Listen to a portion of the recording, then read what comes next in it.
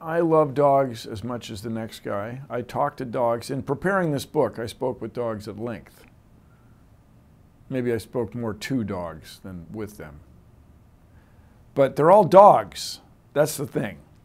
I know we all love our Kennel Club show. We, we all go there. We watch. We we obsess about whether our our uh, dog is a pug, Jack Russell Terrier mix with corgi overtones and an oaky finish, an approachable little dog, whatever, no, whatever.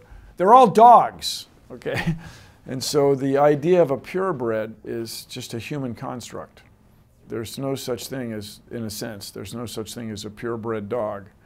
And uh, that's, I don't have a problem with that. That's the way it is. By the way, you talk to any veterinarian, and they'll tell you that a mutt is a much healthier dog, generally because they have this mix of genes. They're not inbred. They haven't made the same gene repeats repeat too many times.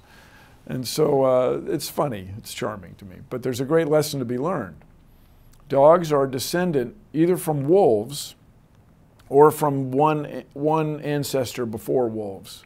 What you and I think of as a modern wolf may or may not be the direct what led to a modern dog. People talk about this as I'm writing the book. In the next five years, it'll probably be resolved. Probably somebody will come up with a, a definitive answer to that. But anyway, apparently, uh, these experiments were done with foxes, which are just the coolest thing, where the, the foxes that were friendlier, that uh, they were more comfortable around people, they were allowed to approach, they were allowed to use human food. After just three generations, they had floppy, scritchable ears, and uh, they were much more like dogs.